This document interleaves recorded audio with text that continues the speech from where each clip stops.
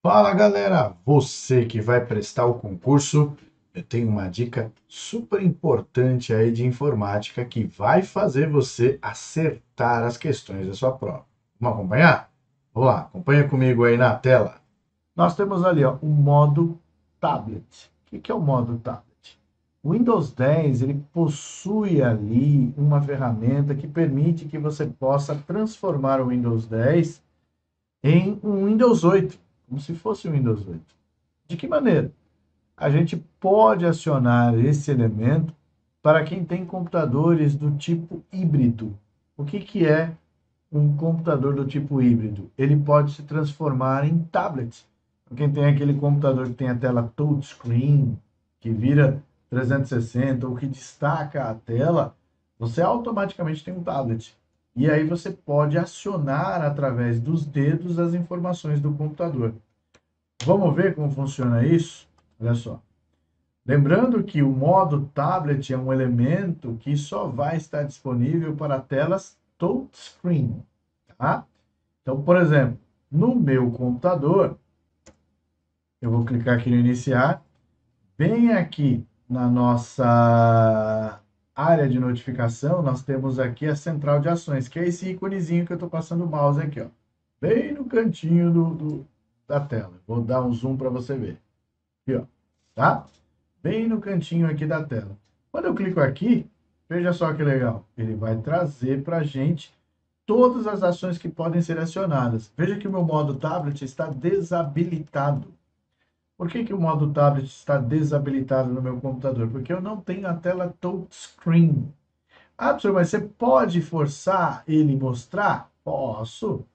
Vou mostrar para você de uma maneira em que você já vai ver funcionando. Ó, todas as configurações. Aí eu vou vir aqui nas opções de sistema que a gente tem aqui. Vamos lá. Sistema. E aí eu vou fazer com que o modo tablet seja trazido para a gente. Vamos lá. Tablet. E aí ele traz aqui, ó, usar o modo apropriado para o meu hardware, ou seja, ele está. Quer dizer, o meu não tem.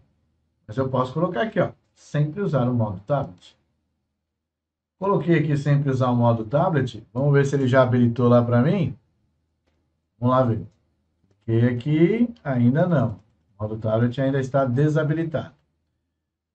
Quando que eu vou usar o modo tablet?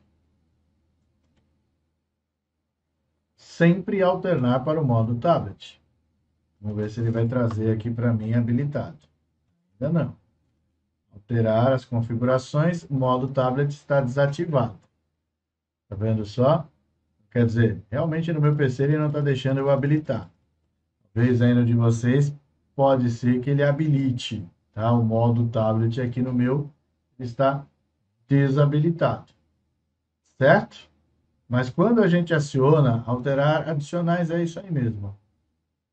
Ocultar automaticamente a barra de tarefas, está desativado, que é o que acontece, né, na realidade, quando você aciona, né?